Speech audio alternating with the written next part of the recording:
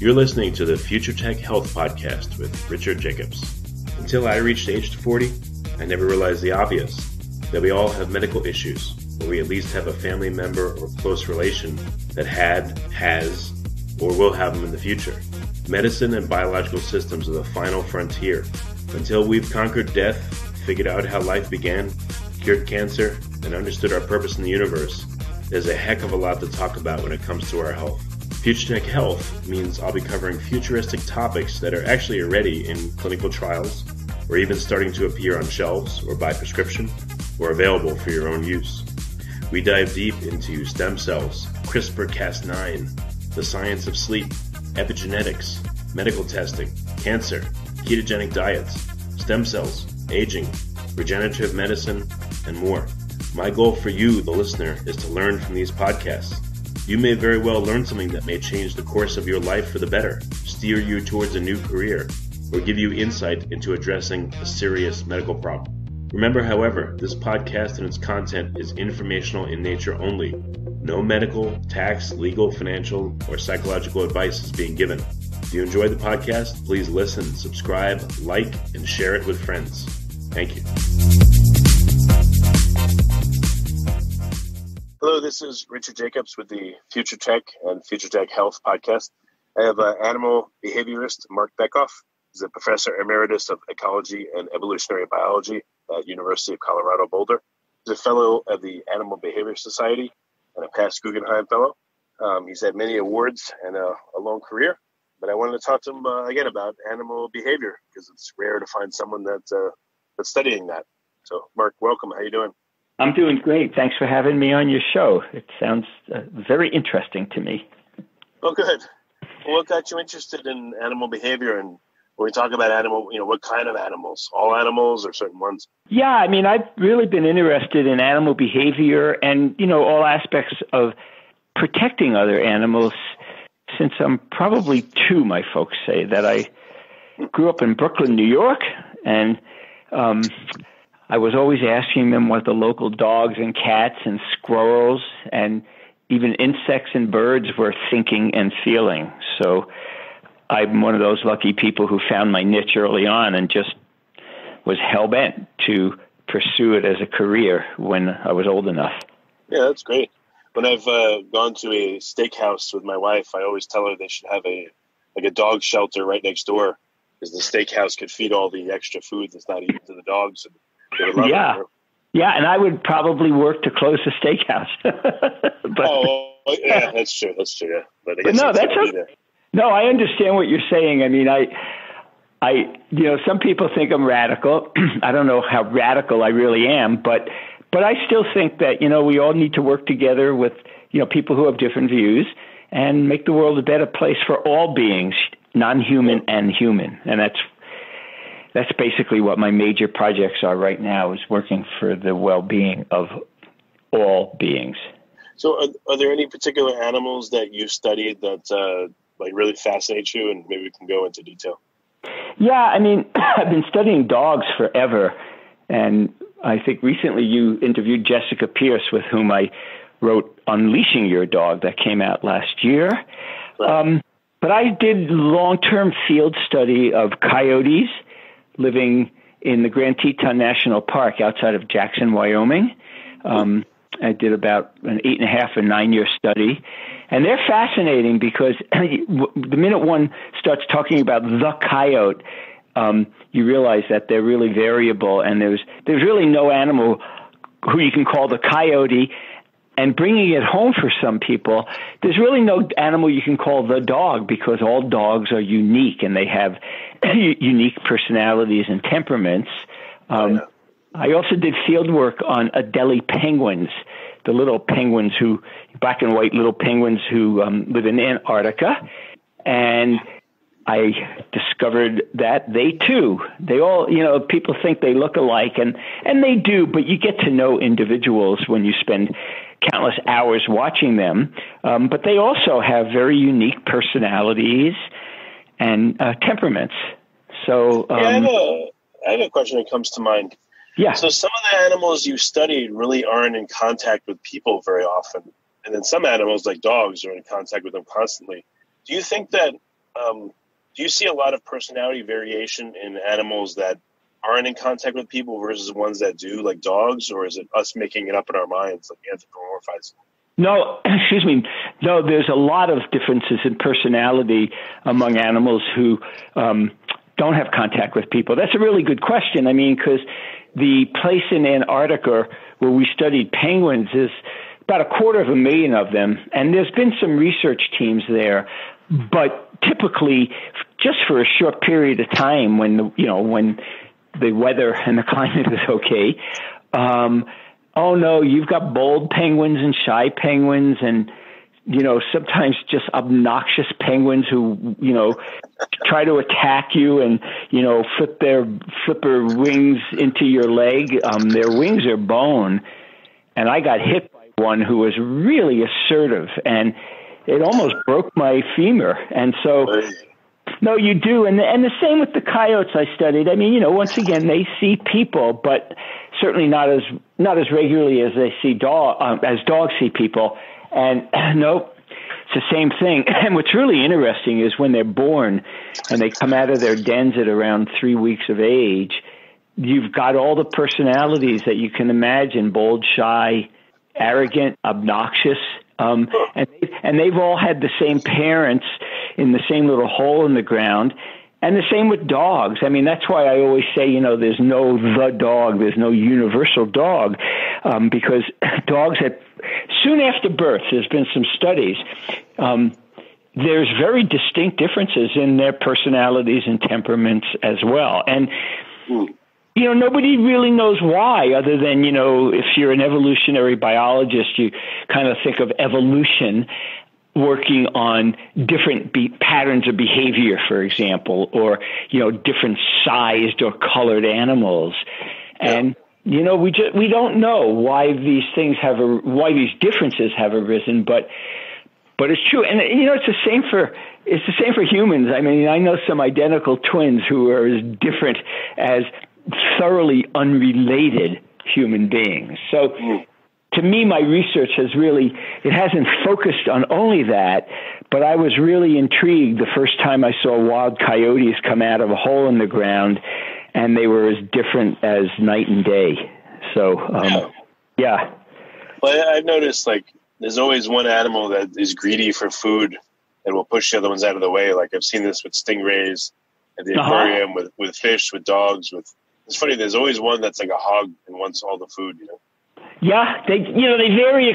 I mean, once again, just like humans, you know, they vary across a spectrum, and um, and and from a biological point of view, you would expect that variation. You know, in, in other words, you know that all individuals are not going to be the same. And so, for example, when I studied coyotes and I've done some observations on wild wolves, even birds living in the foothills outside of Boulder, you know, you can't form a group of all alpha or dominant individuals, if you will. You know, it's hard to form a group um, of all bold people. You know, and so the variation in personalities, for example, help to form a group and maintain the group. And you see that, you know, in numerous social species, yeah. um, including fishes and you see it in humans. So there's a lot of similarities across the board um, in that aspect of behavior. How far down do you think that different personality types go? Like, you know, in, in what we call simpler organisms, like how far down do you think it goes based on your experience? Yeah, well, I don't think of down and up, just to be honest. But you know, okay. I mean, I mean, you know, because that means that there's a hierarchy. But you know, people who study reptiles and amphibians see large differences among, um, you know, large individual differences in what we would call personality. I mean, some people resist using those phrases for, like, you know, what you said, maybe these so called simpler um, organisms. But there's been great studies on fishes that show very clearly that they show the same spectrum of personalities as do dogs, wolves, coyotes, and humans. Wow. Again, And, and the same, you know, I've been in my field work. I've come across, you know, different animals. And when I was in Africa, um, we met some crocodiles. I mean, we we we met them at a, we met them at a distance, of course. But but you know, the guide that you know who knew some of the individuals said, you know, first thing he said was, you know, you want to stay away from all of them, you know, just as a precaution, but that, you know, certain individuals were more, were bolder and some were shy. And so as a, as a research scientist, I just keep the door open on all these possibilities just because, because the minute you think you know everything, maybe the second you think you know everything, you really learn that there's a lot you don't know. And so right. keeping the door open, um, on behavioral differences. And also, you know, that question about personality, you know, people talk about so uh, simpler organisms. And, you know, when you really get into the nitty gritty of studying most organisms, the word simple goes out the window just because they're simple when you don't understand a lot about them. You know, so so when I started doing some work, well, with the, some of the work on penguins, you know, you know, people would go, well, they all look alike, they all behave alike, and then, you know, literally, you just hang out with them for a couple of hours, and you go, well, that's just not true. You know, they share the same basic patterns of behavior, but they don't all behave the same. Hmm. Okay. Yeah. So what's um, I don't know, what's your overall like feel or gestalt that you worked with a lot of animals in a lot of different contexts over many years how do you feel about them now versus when you first started working with them like what are some insights or things that really have stuck with you over time working with them well the variability is one but among the things that i've really come to appreciate are large individual differences among animals, as I've said, you know, both within and between species. And the other thing that I've come to appreciate is how similar they are. So, for example, in the long term field studies of uh, coyotes living in the Grand Teton National Park, you know, we discovered there's a lot of variability. Um, coyotes can live alone, they can live as a mated pair, or they can live in a pack like wolves. And it turns out that the major determinant um, the one variable that influences how they live is how much food there is in the winter to keep the family together. That if there's enough food for, you know, mom, dad, their children, and perhaps other pack members, then they'll hang out. And if there's not enough food, they'll um, they'll leave. Another thing that we discovered, and um, this is something that I've worked with Jessica Pierce on, we wrote a book called Wild Justice, where we were looking at the moral lives of animals, um, and one of the things that attracted me was how they play fairly, how they have certain signals, like dogs do what we call the bow. Everybody who's lived with a dog probably knows the bow, where they crouch on their front legs and they put their hind end in the air, and sometimes they'll wag their tail and bark. And that's an invitation to play. And if you go to dog parks or you just hang out with dogs, you know that they learn to play fairly, that there are certain rules of the game. And so, you know, once again, you know, it was you know nobody really knew what was going on until I and my students did my did you know did our research. So there's this notion of fairness, and you can look at it in terms of sharing food among anim- among individuals in a group. Um, primates form what you call these grooming networks where you you know you can go online and you can see a bunch of chimpanzees or um, baboons or different monkeys. They're in a line and they're all grooming one another. And so are there cheetahs in the system? Yeah there's some individuals who try to do nothing and get the benefits of you know being in the group. But what we discovered and it's really fascinating is that young coyotes who don't play fair ultimately leave their group because they can't bond with other coyotes and they suffer higher mortality. And so cheating in play doesn't really pay off in the big, you know, in the big picture. and the coyotes keep track of, if you will, who the cheaters are and you know who are the cheaters and who are the uh, uh, animals who play fair and you see the same in humans. You know we you know we label people oh, they're not very fair or they don't pull their weight or something like that. So you know that's another aspect of behavior that came from these really really long term studies. So there's like Bernie Madoffs in the uh, coyote world too. Uh, yeah, but they don't they don't do as well. Although right, I, right suppose you could say he ultimately didn't do as well. But but yeah, and you know, it's not a matter that they get away with what they can get away with, but you know, once again, life out in the wild is tough. And if you can get by and not pull your weight, that's okay. But once the group takes takes notice that you know you're there's a laggard around and they're not doing pulling their weight, then they they just won't form the bond. You know, um, it's not like these individuals get driven out by other animals. What what our research showed, which was very important, is that the other animals know who say are not the fair players, and so they won't accept their um, play invitations and they avoid them. So it's it's a very similar situation that I've heard of, you know, in young kids in elementary schools or in playgrounds, for example, that it's not like the other kids drive them out of the group. It's they just don't allow them in. And and there's a very different, you know, big difference there if I fight with you and force you out of a group or I don't let you in in the first place. Um, and in the field, you know, suffering higher mortality is really a huge cost because it really basically means you're not going to go on and reproduce and make more babies who are going to carry your genes. And so that was one of the big things we found after countless hours and years of studying these animals. So, um, yeah, so we've also learned that you need to do long-term and you know long-term studies on identified identified animals so that you know who's who and you have some idea about their biographies. And how about uh, for a little while focusing on dogs? I guess because mm-hmm. I love dogs and a lot of people are familiar with them. What what uh, interesting or unique things that you found out about dogs that most people don't know?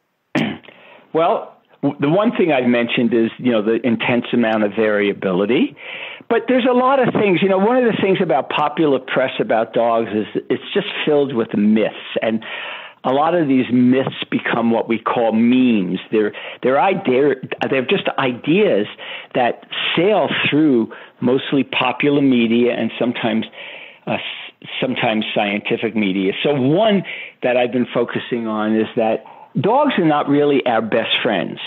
You know, it's it sells books and it attracts headlines, but dogs aren't if you will, humans' best friends. They're best friends with some humans, but dog abuse is rampant, for example.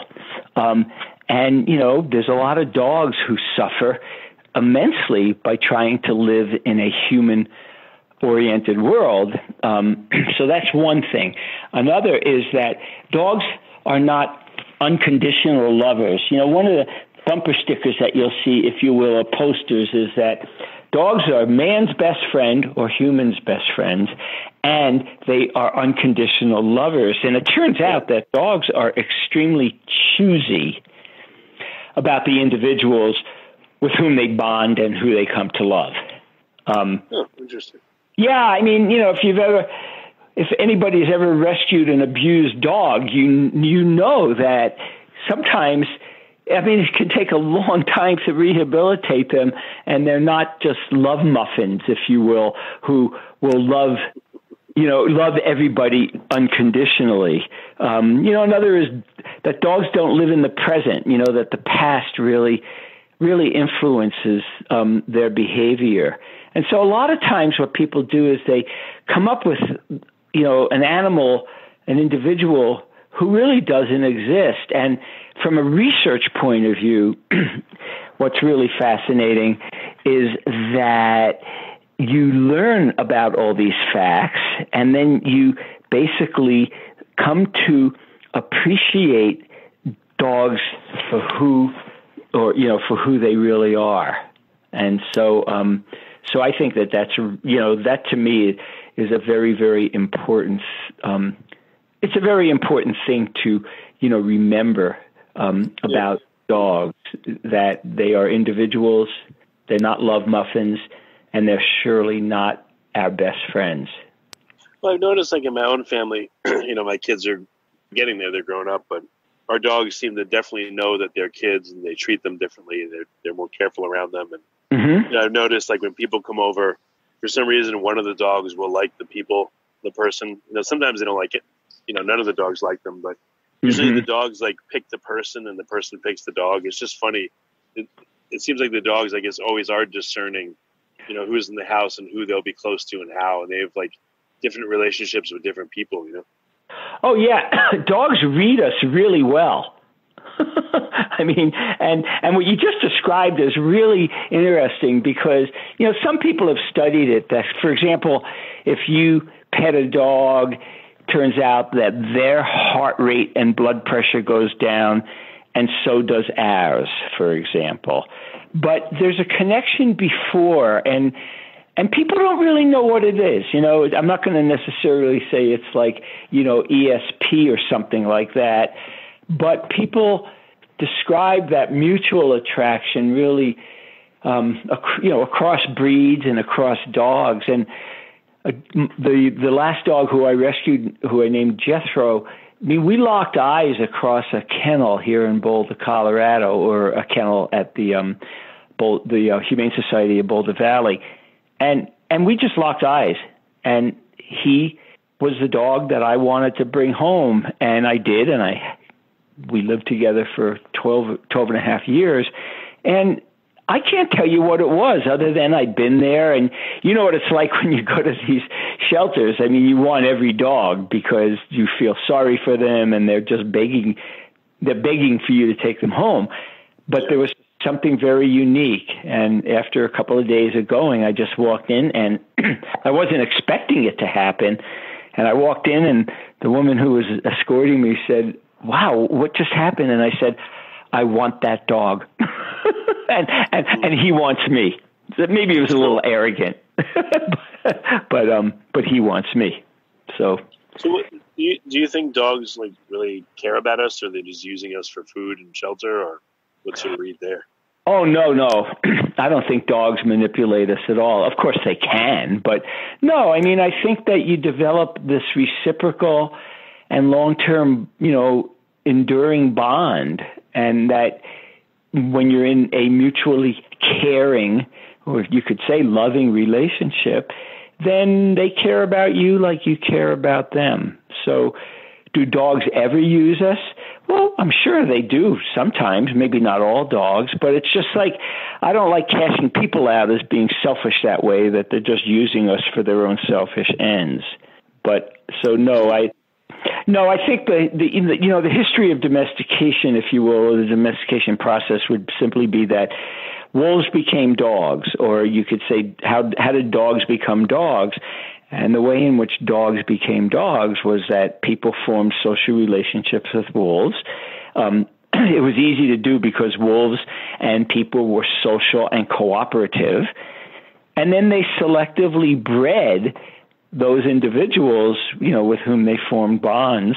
And over time, wolves, if you will, morphed into dogs. So I think that that reciprocal cooperative relationship has persisted. And so, yeah, I mean, I dogs we get dogs get dogs can get as much out of a healthy relationship as we get out of that healthy relationship, and it's not one sided because dogs are using us. They, it, the whole the whole system would not have um, evolved that way.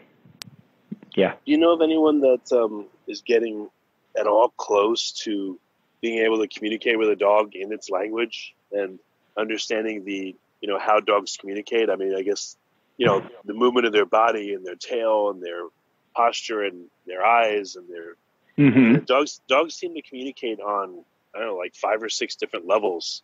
Sure, people seem to just stick mostly to verbal and then some body language and stuff. But you know, has anyone really pushing the frontiers and getting close to being able to literally communicate with a dog?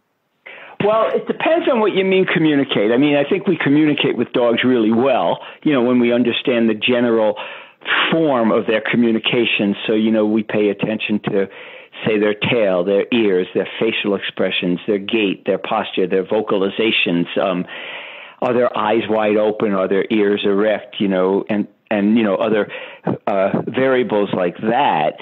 Um, you know, there are people who are interested in focusing on barking. You know, right now it's funny that we we really know very little about why dogs bark. I mean, you know, or why they howl at sirens. I mean, and it's fascinating because it's not a criticism of research. It's more just a very common you know common behaviors about which we don't know that much and i and there are people who are interested in making these you know translators if you will you know the goal of which in the future would be to try to actually you know record a bark look at context and then try to say well the dog really is saying is saying something you know with syntax or in a sentence that says I'm hungry. I don't feel well. I want to go for a walk.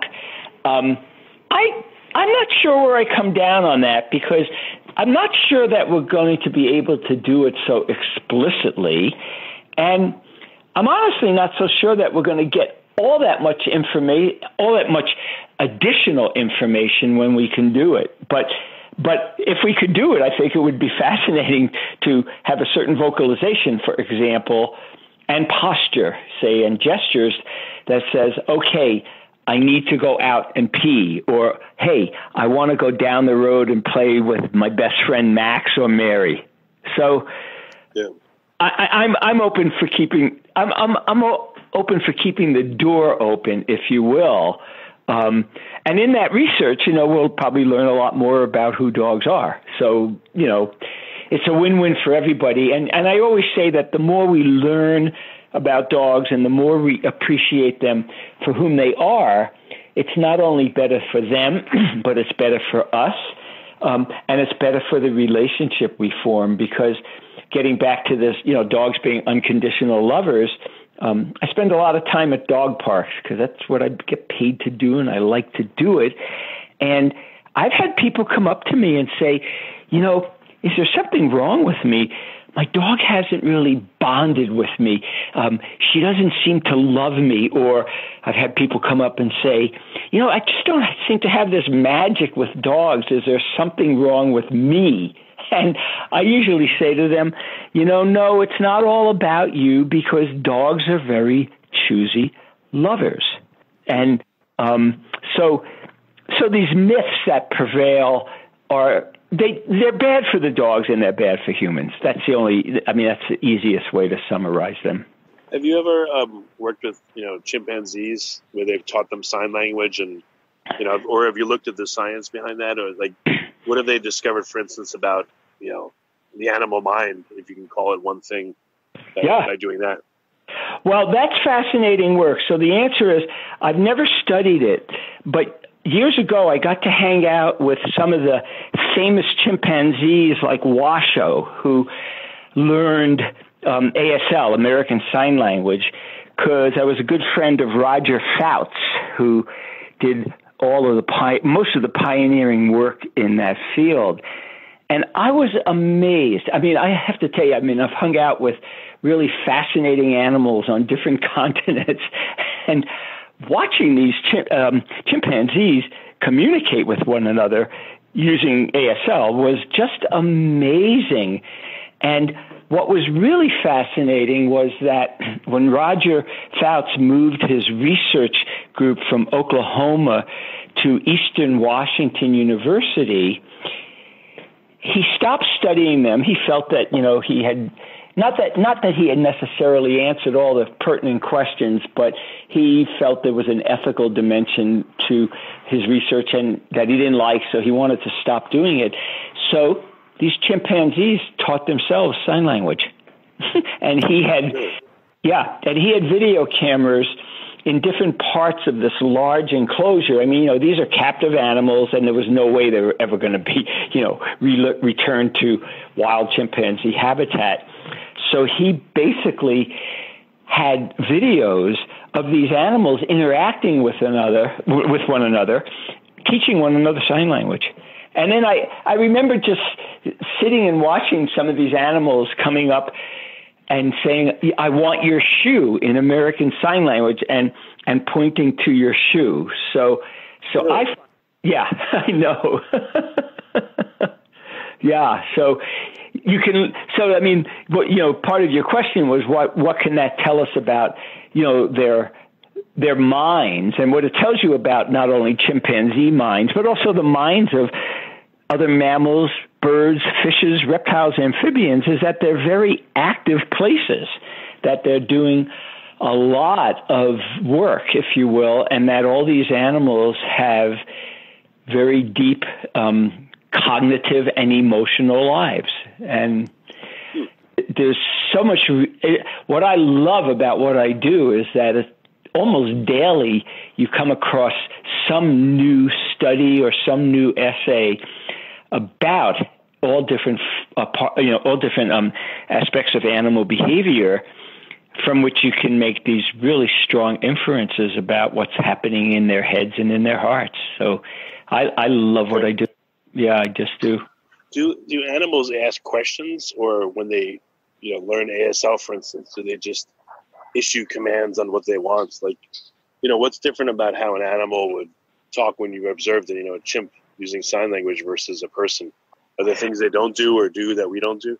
I don't know that field well enough, but but but I do remember a chimpanzee pointing to my shoe, and I wondered whether um, she it was, it was, a female. She was asking me, "Can I have um, your shoe?" Because I don't know ASL, but. Um, but but you know what you're asking? That's a really pressing question. Do they ask questions? Because they do. you know, when they beg for food, for example, they they could be asking, "Can I have that food?" rather than just stealing it. Um, when a dog wants to play with another dog and does the bow or does some kind of action or makes a sound, they're asking the question, "Would you like to play with me?" So, well, are are they, or they're saying, "I want to play"? Like, well, they could be doing food. Right. They, well, no, they could they could be doing both. Um, they could be saying, "Do would you play with would you play with me, or um, would you like to play with me, or um, you know, I want to play with you?" And and that's a great question, and I th- I think it's a little bit of both, and I think it depends on the relationship because we'll also see um, dogs, dogs, coyotes, and wolves who I've studied do something like bite another animal too hard and then do a bow. And what they're basically doing is punctuating the play sequence and saying something like, I'm sorry I bit you so hard. I want to play. Or I'm going to bite you hard, but it's still play. And and I think what you're asking is a great question is what are they doing? Are they saying, I want to play, please play with me? or do you want to play with me? And I'm not quite sure right, you know, on the on the spur of the moment, I'm not quite sure how to parse that. So, but I do think it's a little bit of both. That would be my um, that would be my impression. I guess there's probably no interviewer animals like me, but uh, that's why I asked. what did you say? I didn't I didn't hear you. I, I, I constantly am asking questions, so maybe that's why I asked the question of whether they ask questions or if they just state their desires. So. Yeah. Well, no, that's that's a great question. I, I I would say that we have enough data to say it's it it's a little bit of both depending on the context. I really do. Yeah. Um, okay. In fact, I in fact the, one of the first golden rules of play. I just thought of this, and, and you know I've come up with these in my my my research. Is ask first. So that play bow would be asking you know, Richard, would you like to play with me? Um, That's true, yeah.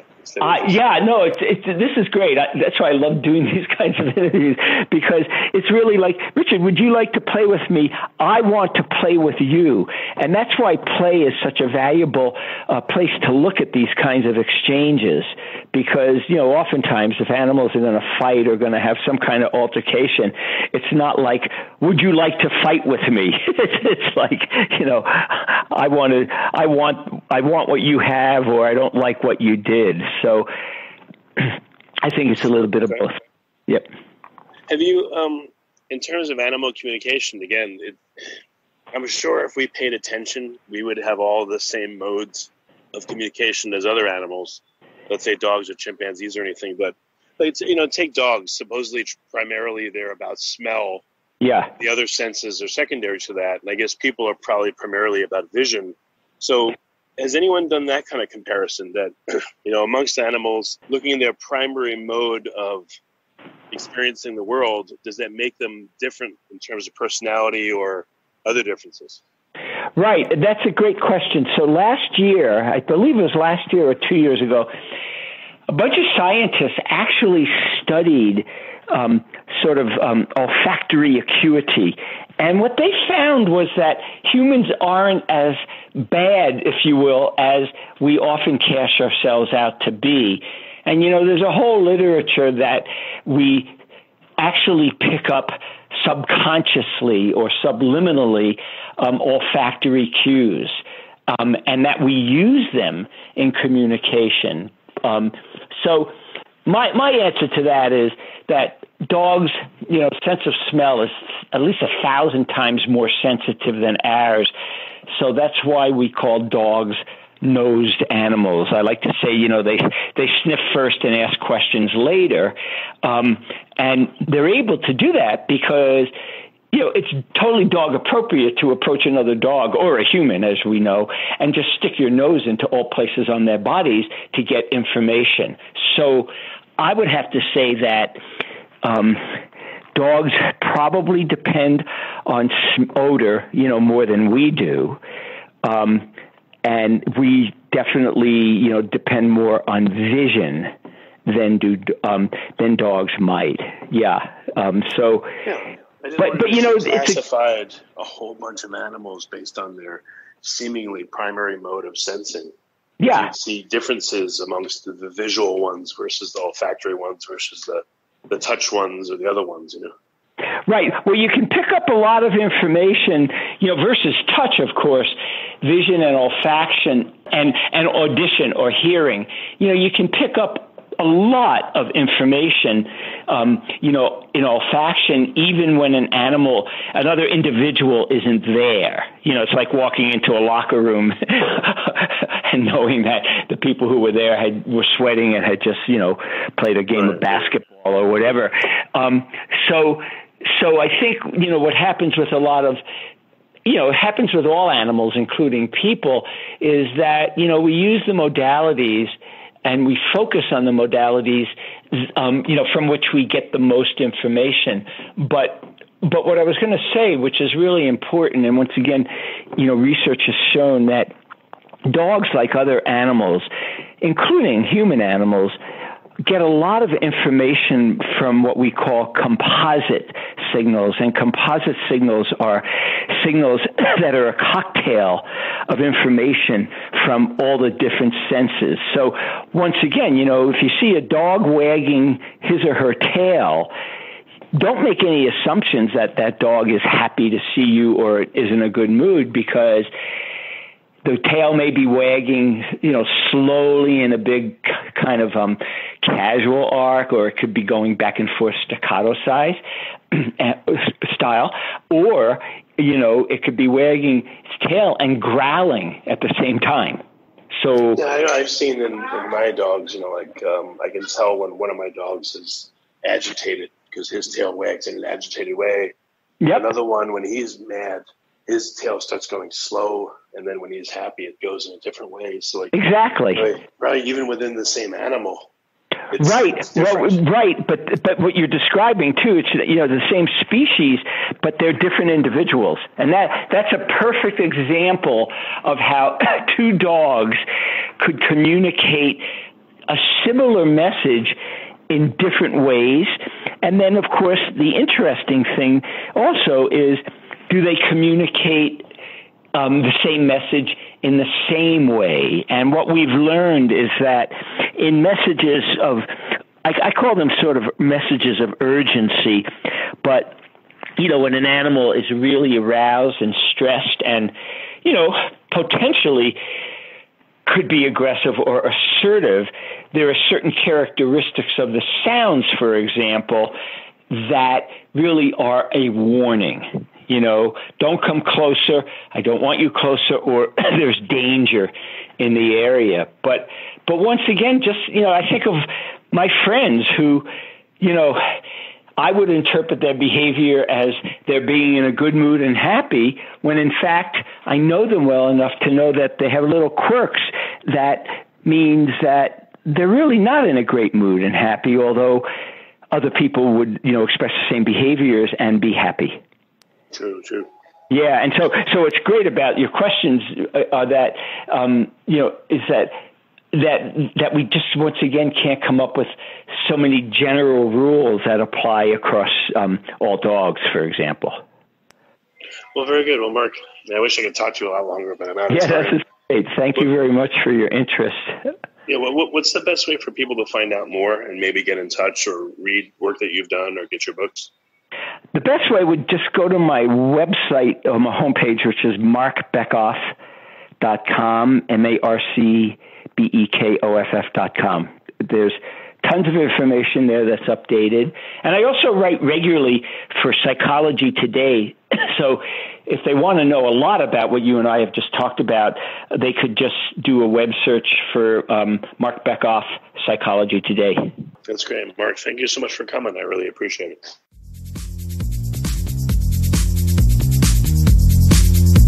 You're listening to the Future Tech Health Podcast with Richard Jacobs.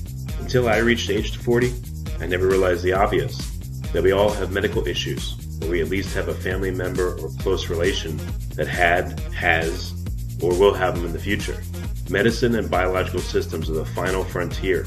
Until we've conquered death, figured out how life began, cured cancer, and understood our purpose in the universe, there's a heck of a lot to talk about when it comes to our health. Future Tech Health means I'll be covering futuristic topics that are actually already in clinical trials, or even starting to appear on shelves or by prescription, or available for your own use. We dive deep into stem cells, CRISPR Cas9, the science of sleep, epigenetics, medical testing, cancer, ketogenic diets, stem cells, aging, regenerative medicine, and more. My goal for you, the listener, is to learn from these podcasts you may very well learn something that may change the course of your life for the better, steer you towards a new career, or give you insight into addressing a serious medical problem. Remember, however, this podcast and its content is informational in nature only. No medical, tax, legal, financial, or psychological advice is being given. If you enjoy the podcast, please listen, subscribe, like, and share it with friends. Thank you.